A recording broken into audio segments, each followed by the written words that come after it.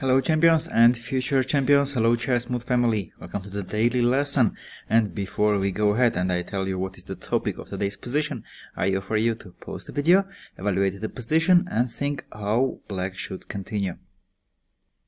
Okay, this position occurred in one of my students game and after the game when I asked him how he is evaluating this position, he said that it's around equal.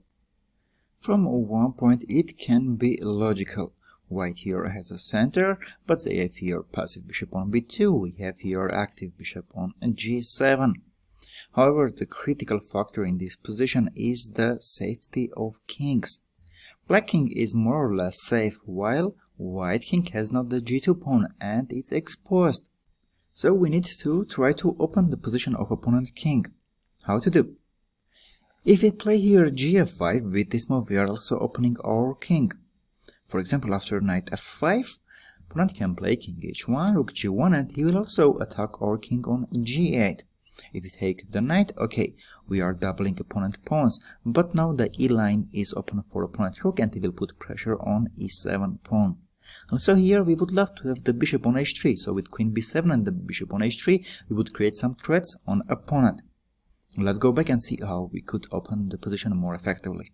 Again, I offer you to pause the video and think.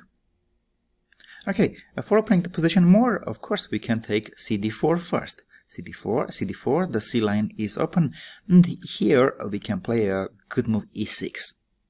What we are accomplishing with this move? If opponent takes f 6 we will take f 6 and now our rook on f8 is also open.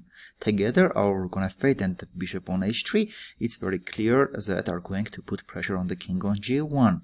Next move is coming queen f7 attacking the f2 pawn, queen f4, queen h4 can be, and here white center is also hanging.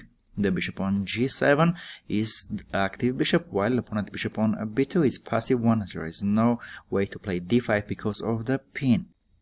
After e6, if white doesn't take on e6, the next move, when we take ef5, after ef5, ef5, we open the position of the king, we open the long diagonal, and we don't have anymore the e7 weak pawn, so opponent is putting pressure here.